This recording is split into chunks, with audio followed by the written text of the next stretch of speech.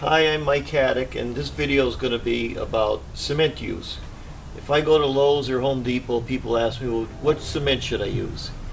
Well, I started working in 1969 doing masonry work, helping my father do cellars. And I worked with unions and I worked in different states, uh, from different countries. And I'm going to basically explain it. 95% of the cement I use is either Portland cement, and this is type 1 or type 2, or mortar cement, and this is type S. It says masonry cement.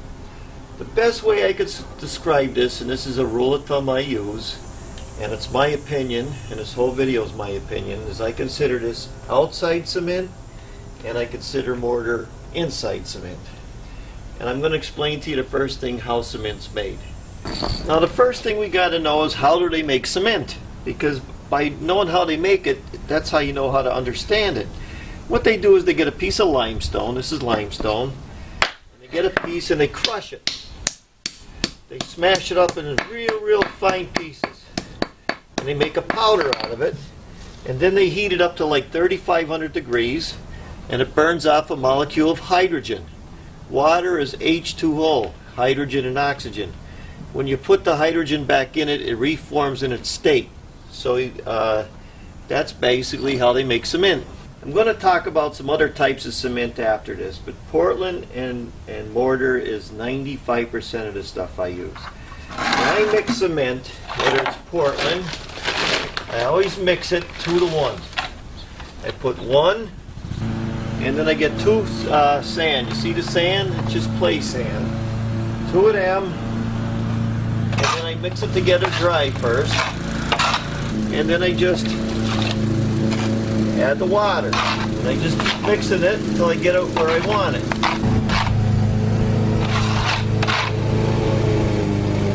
And the same with the mortar, two sand and one mortar. Now we have Portland on this side and we have mortar on this side. What's the difference? First rule of thumb I always use, I could use Portland in everything. Any type of masonry work, I could use it, especially if it's on the ground. Mortar, on the other hand, has lime in it, and what it does is contain the water. And it's easier to use. If you're laying brick or you're laying block, mortar is a lot easier to use. Uh, this is S mortar, that means it has Portland in it. Can you mix the two? Yes. In the old days, my father would use 20 shovels of sand, one bag of mortar, and three shovels of Portland. And that was the mix. Worked perfect, never had a problem with it. Uh, the only time I use mortar is maybe a little bit of stucco, and I use it on brick and block. But Portland you could use on everything. Portland is what they use on highways, patios, anything like that. You have to be doing this for years to basically understand it, but if I have to fix something, it's always going to be with Portland. No matter what I'm doing, if I'm using Portland or mortar, and 90% of the time I use Portland, and I have to stucco something or stick something together, I always wet it first. This is just my sprayer. It's an easy way to, to wet it without using a sponge. I wet it first, and uh, then I take my mix and I put it right on top of the wetness. See that? It gets right in there. If you don't do it when it's wet, it ain't gonna stick. Same thing with the with the mortar. Go right in here and put it on here and it's gonna stick. Now we put the Portland on one side, we got the mortar on the other side. I, I put it on here, it's two to one. But the truth is, if you sometimes if you make it too rich, it's going to crack up. If you make it too uh, loose, like using three sand to one or four sand to one, it's going to fall off. In Pennsylvania, it's a big different story than if you're working in Florida. God didn't make everything black and white. There's a lot of color, a lot of variations, and a lot of reasons for masons to do it a different way. But in Pennsylvania, I've learned I use Portland, I never have a problem. In Florida, it's a whole different story. And in two weeks, we're going to look at it again because that's usually how long it takes cement to cure. And I'm going to explain more about cement to you. Now it's two weeks later. I let this sit outside. It usually takes cement or concrete at least two weeks to, to uh, really set up and dry. This side we have the Portland, this side we have the mortar. This is a screwdriver. We'll give it the screwdriver test. That's the Portland. Now the mortar, as you can see, scratches a lot deeper, a lot faster. The mortar is definitely weaker than the Portland. Now this is the water test. We have the mortar here, the Portland here. We drop water on it and you could actually see uh, the cracks in there and everything because cement shrinks and it forms into mud pies. And this water here, you see it right there, the mud pies and everything? That's actually the water getting in there.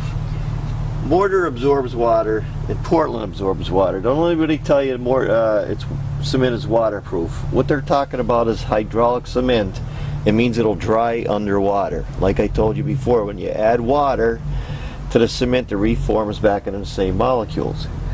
But if you're going to uh, use cement, you wouldn't use mortar on a swimming pool, you'd use Portland.